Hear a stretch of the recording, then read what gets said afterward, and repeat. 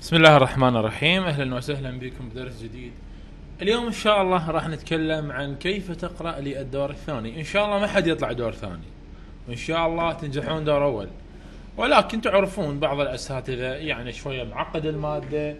يعني بعض الطلبة صار عنده ظروف ما قدر يحضر. بعض الطلبة صار عنده يعني مشكلة بمادة معينة. اليوم إن شاء الله أنا راح أتكلم عن هذه المشاكل وشلون نعالجها. عيني طلاب. بالنسبة للدور الثاني مو نهاية العالم. يعني أنت من ترسب بمادة مو معناها كل شيء انتهى بالعكس شيء طبيعي. احتمال هذا الرسوب يدفعك للدراسة أكثر وأكثر ويخليك طالب يعني تفهم بهذه المادة اللي كنت تعاني من عدها. أوكي؟ فشدون حيلكم وانتبهوا وياي على هذه النقاط. فمن ضمن التوصيات المهمة أول شغلة لازم تسويها وهي جمع ملفات أستاذك بجامعتك.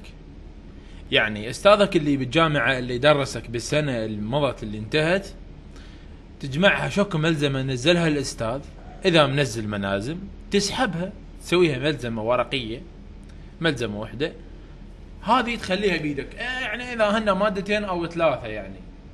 إذا أنت راسب بمادة أو مادتين وإن شاء الله يعني مو رسوب هو.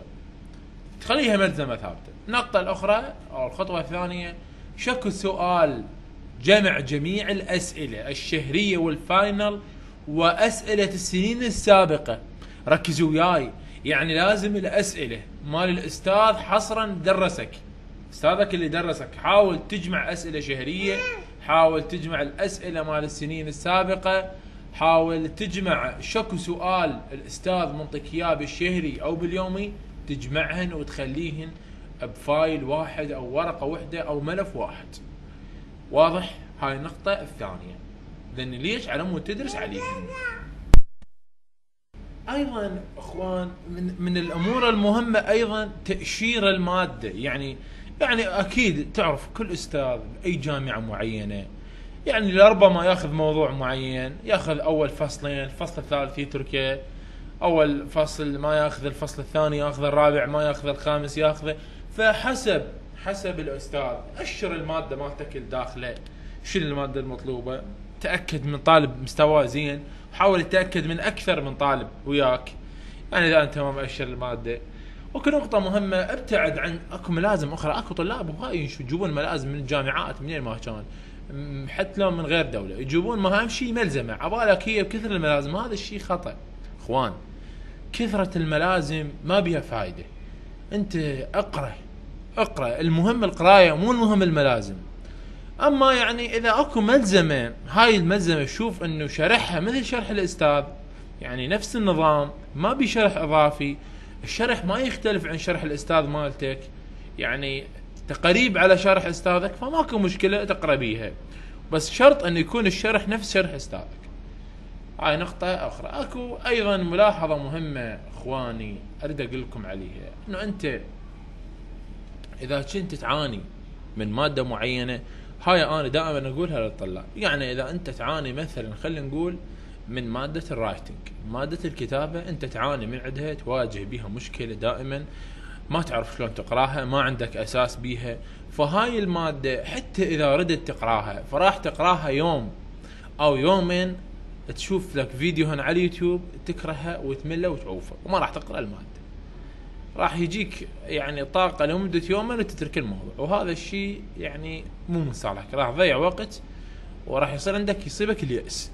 فنصيحتي إلك نصيحتي إلك إذا أنت تعاني من مادة صوت نحو writing كتابة أي أي, أي موضوع حاول تدخل بيه دورة.